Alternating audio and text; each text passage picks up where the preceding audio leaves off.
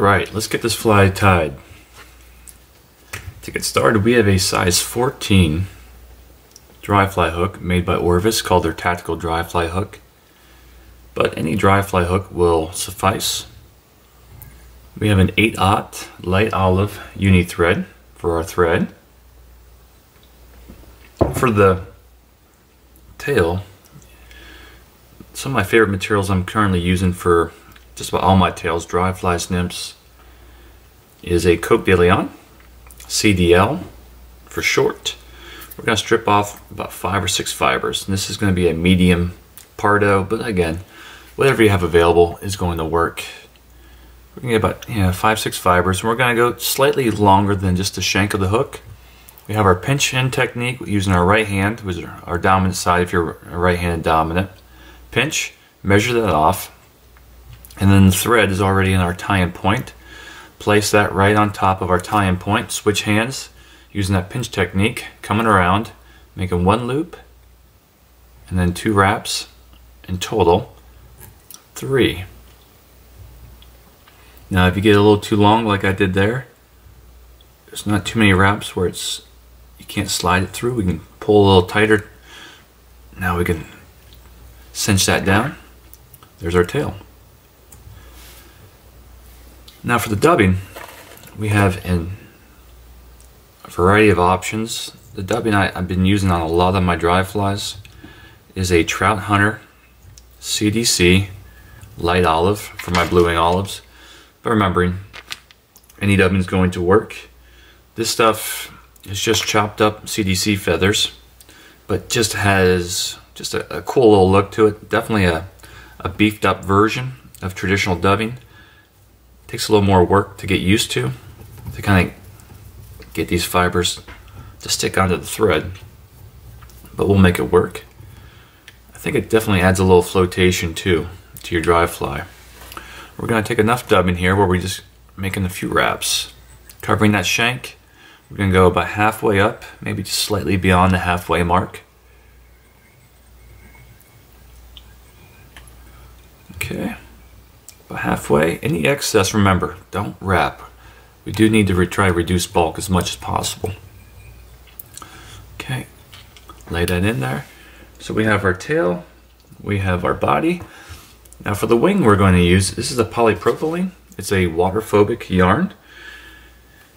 Some of this stuff is called Parapost, another substitute. It's basically a poly yarn that's treated with a water flotation or a, uh, a floatant before it's sold on the shelves.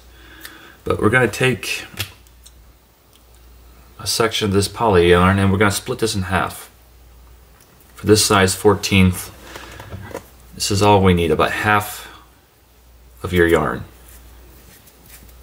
Just take your time. Pull out those fibers. And unlike traditional dry flies, what I like about the Barr's Visidun is just the simplicity. Instead of having tying your wings perpendicular and then splitting them so you have like a split wing, we're going to tie this in like a parachute post. Right on top do one loop. And even with an 8-aught, just as long as you know how to use your thread tension correctly, and trust me, I blow up, I break a lot of threads off by kind of going beyond the limits. It's amazing how much pressure you can apply with an 8-aught and how you can get this material to bind down nice and tight. So often we have a lot of problems with just making too loose of a wrap and then when you go to pull this material, it pulls out.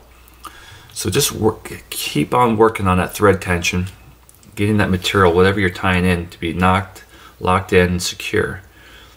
Now we're going to tie this like a parachute post. We're to hold the wing upright.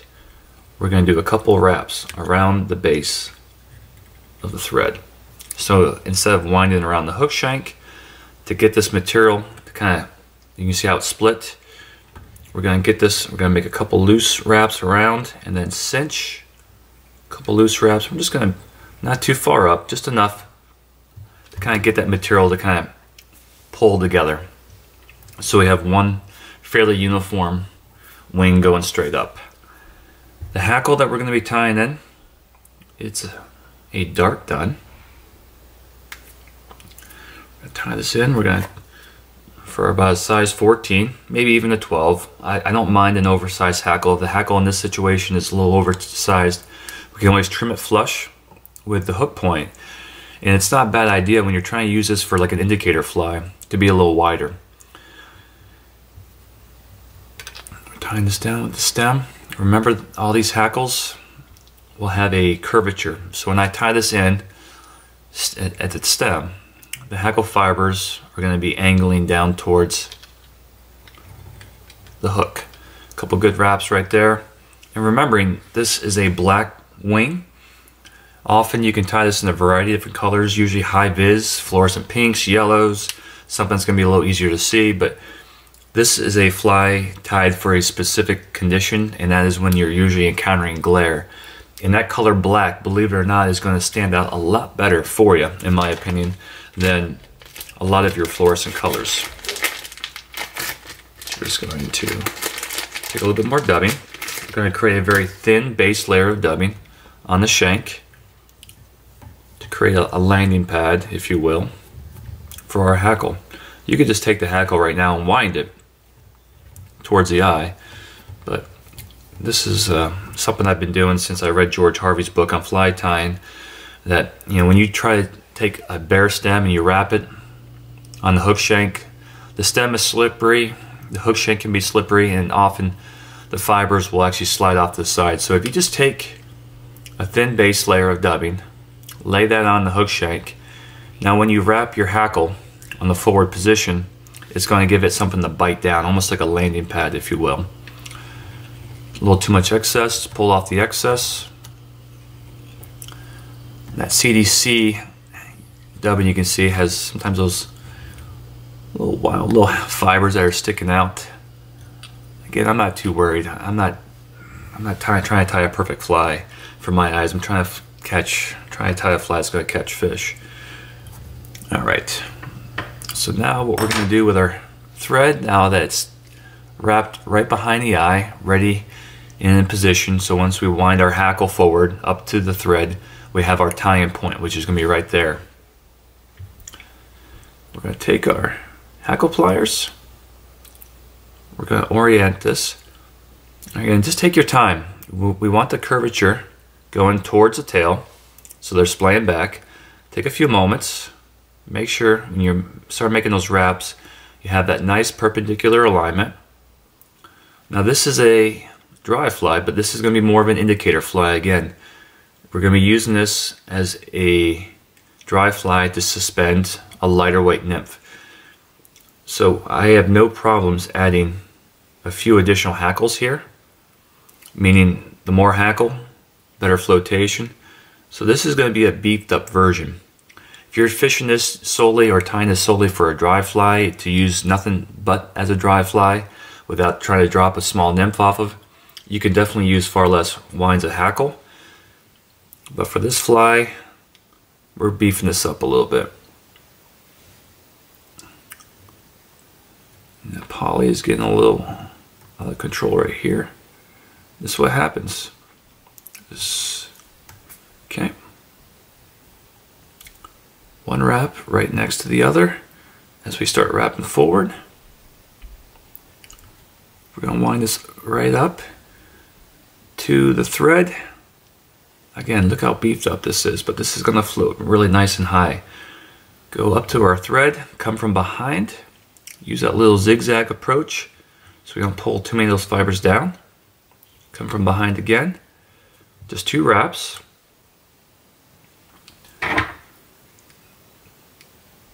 Trim. This is where it's important. There's only two wraps right now holding the hackle down. So we're to take our scissors. Any of this, these fibers that are sticking on the front side, we can trim. But if I was to bump or move this hackle or move this bobbin, chances are it's going to come undone. The hackle pliers are going to come undone. So wind this bobbin as tight as possible. Keep things as nice and tight. Pull those fibers back. Make a few wraps up. Now take our whip finish. Can whip finish two, three, and then I always try to do two whip finishes. One just for an added security blanket. Okay. Double whip finish. You can see these hackles again. This is definitely a little too long for most, but I'm to trim this flush. And what's nice about having slightly oversized hackle for this style of fly is it's going to create a wider base. And this wing, when I cut it, it's going to be a little higher than normal because remembering in low light or in glare, often you may want to lower your profile looking more level on the same height as the as the water itself. And having a wing that's a little higher or positioned higher off the water is going to be easier to see. So I'm going to take this poly, pull tight, create a little tension, and then make a quick little snip. Now this wing is a little tall. We can actually trim this down maybe a little bit, but not too much. But having these larger fibers and trimming this down here with the fibers going a little further off to the side than a traditional hackle is going to create a little bit more stability, allowing us to have a higher wing post and giving us a better vision or a better view of our dry fly in lower light conditions or during glare. So right there is just a variation of the John Barr Visidun with a dark wing designed for fishing low light or glare conditions.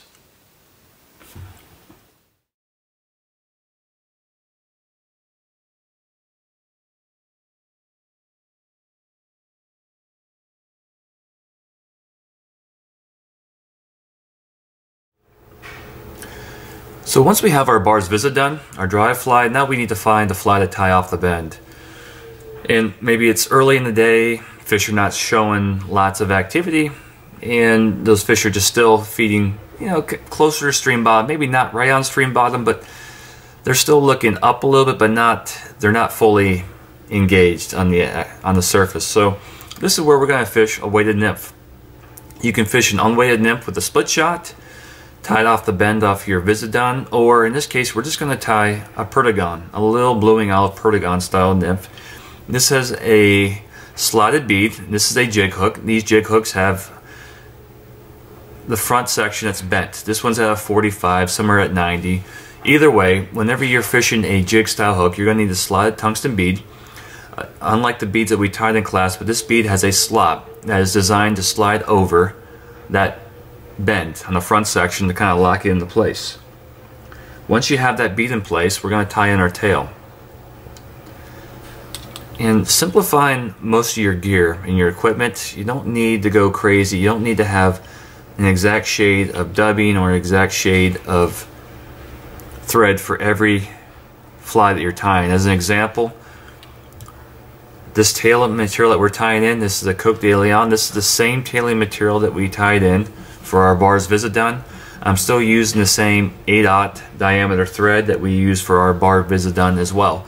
So trying to streamline a lot of your materials will make it a lot easier for you, saving some money, and then also just reducing clutter, which is something all fly tyers are absolutely notorious for carrying way too much crap than what they actually need. So we tie in our tail about the same length as a shank. Now we're going to tie in this hand strip quill. Now you can use thread, you can use other materials. This is just it's definitely a little more expensive, but this hand strip, hand strip quill is just awesome materials because when you wrap this, you're going to create a nice little band. This has, on the side of the quill, has like a dark edge. And when you wrap it, it really creates a nice, good looking segmentation. So once we have that secured, we take our thread, we wrap it forward. Now, when you wrap this thread, making sure when you look at this hook shank, we're going to be laying this quill on top of the hook shank. If there's any valleys, unevenness, that is with our thread, this quill is going to slide. So just making sure that you have a nice smooth landing strip. We're going to take a pair of pliers. Now this material is incredibly brittle, so when, as you're wrapping forward, it just broke off there. We'll tie this in one more time.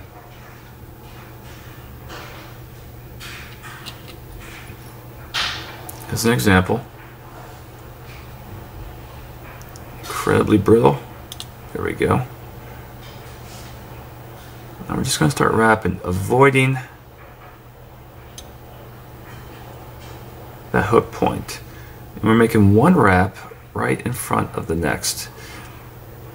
In that dark edge, as you're wrapping, you're going to see just a really nice, tight, segmented look. And you go again, you go through different stages in your fly tying career. Sometimes you're going to get, to this point where you might want to tie really realistic imitation, something that looks exactly like the insect that you're fishing for or trying to imitate, and that's great. And at this point in my life right now, with things, get, you know, things get busier in your life, you try to spend a little bit more time on the water rather than behind the vise. I tend to tie really simple patterns. And this Perdigon pattern is one of those patterns which catches a lot of fish and you can tie it in virtually less than a minute or two once you have all your ducks lined up, meaning once you have all the materials lined up. Very easy pattern. You could actually bang these things out in less than a minute. There it is. That really nice tight segmented look. We're going to take our whip finish. One, two. Do one more whip finish just as a backup. Now this peacock quill, as you saw, is fairly brittle. So this is why we're going to add a little UV resin on top of this.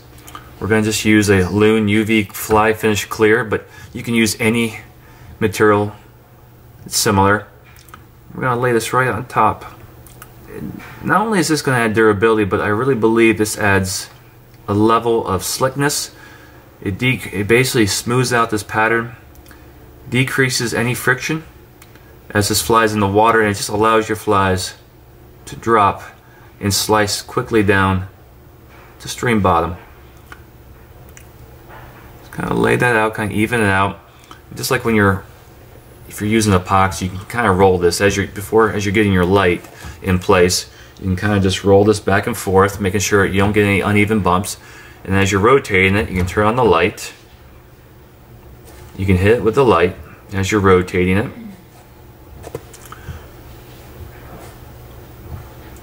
Turn it off. And right there is just a simple yet incredibly effective pattern for a blue wing olive nymph or could, they could take it for whatever nymph you, they might think it is. But simplicity, small proportions, and the idea here is that you want this fly to be as slick as possible to cut down to that water surface to get to the bottom where the fish are feeding on a regular basis.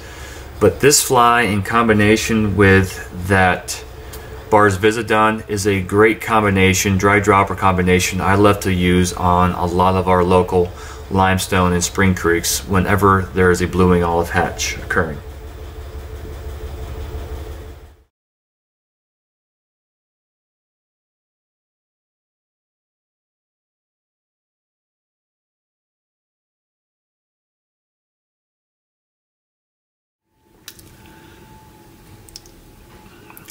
Next pattern we're going to tie is the Puff Daddy. This is just a soft hackle variation. Instead of using hen backs, hen saddles, pheasant rump, and whatnot for the collar, we're going to use a CDC feather. This was a pattern I came across while fishing the South Holston River a number of years ago. It's just, again, the, the concept, everything I tie these days is pretty simple they're more suggestive, even though we are using a color scheme here that can imitate a blue wing olive. It's just simple patterns that are more suggestive that can imitate a wide range of insects. The way you do this and what I want you to think about when you're tying flies, again, is the concept of a chef versus a cook. When you look online the recipes, you're going to see a wide range of recipes for the same pattern. Like if you look online for the Puff Daddy, you're going to see lots of tweaks and variations. The idea is I want you to think about being a chef rather than a cook. Cooks follow the recipe to a T. Chefs kind of mix and match and kind of do as they feel uh, is, is, best or what is available to them at the time. So when you're tying at home, especially during these uh, times, you may not be able to get access to the exact material that this per person on YouTube or whatnot is providing you. So just be flexible, adapt. You can make the body of this, you can do this with just thread, or you can do it with thread and a ultra wire rib. Or in this case, we're just going to tie this with another peacock quill, olive peacock quill. We're going to tie that quill in and we're going to wind this thread forward. This is a size 18 hook with a 8-aught olive thread, the same materials that we were using for the other patterns. Again, trying to consolidate all your materials so you don't need to have 50 shades of dubbing, 50 shades of thread. You can basically tie a handful of flies using virtually the same materials with a slight variation sometimes. Now we have our peacock quill in.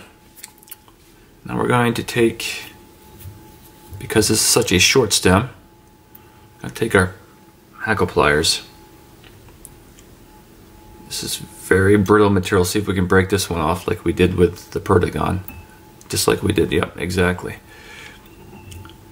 When you're doing, when you're working with these quills, one of the things, if you're finding troubles breaking and brittle, one thing I didn't do is you can soak this in water. It's going to soften up. It's going to make it a little more pliable. But we're going to try to be very gentle here and just do this dry out of the pack. Make a wrap here. And avoiding that hook point. Very brittle materials. If you come in contact with a hook point, game over. And what I like about this quill, as we did with the Perdigon, it has a nice edge. It gives the fly a nice segmented look. Definitely overkill. Does the fish actually see this? now? but this is just something I do for myself. I just, I love the look of these quills. Come from behind here and just tie this off. Now remembering, yep, I just sliced that right off, how brittle that is. To give this just a little durability, we're to take a little, we're to take some UV resin, just hit the top section. And it's so important when you're doing the UV resin, you stay away from the spot where you're to be wrapping the thread. This only, this resin only goes on where you're no longer wrapping materials on there. Otherwise, if you put it on the section where you're going to be wrapping your thread or you're winding your CDC, it's going to slip and slide. Okay, there's our body. Now for the collar, we're going to take a CDC feather and we're going to tie in tip first.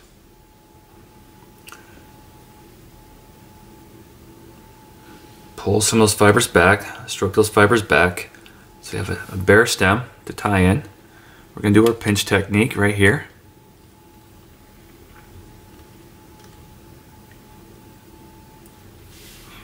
Wrap forward.